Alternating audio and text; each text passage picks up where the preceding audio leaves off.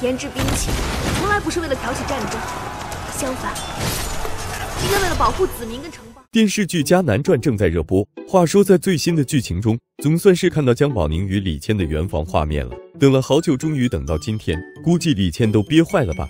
他之前因为心疼媳妇，忍住欲望不去碰爱妻，如今姜宝宁突然来了句“我许你富平子贵”，李谦再也忍不住，一把公主抱将宝宁甩到床上，两人彻底结为了一体。然而，姜宝宁李谦的爱情依旧磨难重重。身为当朝第一大将军，李谦不是在打仗，就是在去打仗的路上。而姜宝宁也没闲着，他辅佐幼皇登基成了王朝实际上的统治者，而且姜宝宁还凭借优秀的头脑，自主研发出一挺神机枪。然而就在此时，前线传回噩耗，李谦大军落败，性命危在旦夕。得知此事，姜宝宁心急如焚。面对这一突发情况，他决定亲率二十万大军前去解救李谦。有着刚刚研制出的神器，姜宝宁一路砍瓜切菜，总算是与身负重伤的李谦救出来了。这段简直将巾帼不让须眉体现的淋漓尽致呀！